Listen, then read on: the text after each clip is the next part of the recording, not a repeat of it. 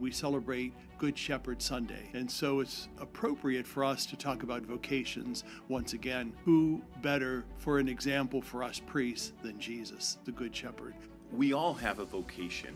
Whether we're ordained or not ordained, God calls each and every one of us to do something special for Him.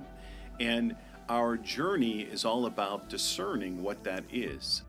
I really look forward to those moments when I'm able to administer the sacraments to people. It really is like life-changing experience, mm-hmm. not only to of course be baptized, but also to witness someone else's baptism. The world is full of noises, some good and some not so good. Mm-hmm. Yeah, our hearts are filled with all those noises and distractions, and so we have to kind of set all those things aside, you know, set our phones aside and, and let the Lord speak to us in the way that He yearns to speak to every one of us. To listen to the full episode, go to catholicecho.org slash podcast or search for Catholic Echo on your favorite podcasting platform. I'm Father Jim Corda. Thank you for tuning in every week.